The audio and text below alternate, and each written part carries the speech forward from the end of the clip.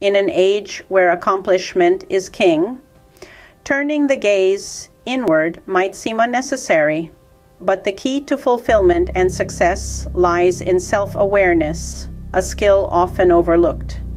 It's not about navel gazing, but a journey of self discovery, a process that empowers and opens new vistas.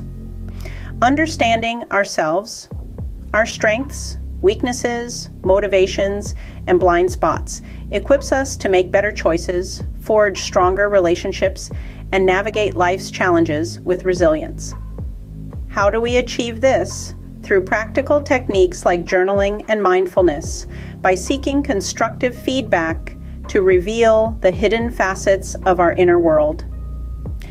Drawing from the depths of psychology and wisdom of emotional intelligence luminaries, we learn to peel back the layers of our personality to understand the roots of our behaviors. So, embark on this journey of self discovery and witness how self awareness can truly be at the heart of human flourishing.